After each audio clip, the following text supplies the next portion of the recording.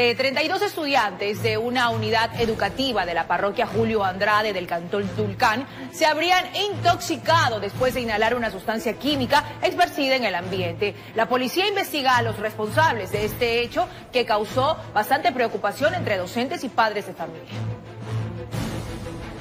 Las ambulancias alertaban que la ayuda debía ser inmediata. El subcentro de salud en la parroquia de Julio Andrade colapsaba. Los estudiantes de la unidad educativa César Antonio Mosquera ingresaban, algunos inconscientes. Los síntomas eran variados. Médicos, paramédicos recibían a los jóvenes, mientras que los padres de familia desesperados llegaban y demandaban respuestas. Algunos salían con sus hijos, pero preocupados, ya que este tipo de casos no se han presentado. El ambiente se ponía tenso cuando los jóvenes salían en camillas hacia el hospital de Tulcán. En total, 32 estudiantes fueron intervenidos por las unidades médicas operativas. Tras las muestras obtenidas, la policía activó las unidades investigativas para determinar responsables.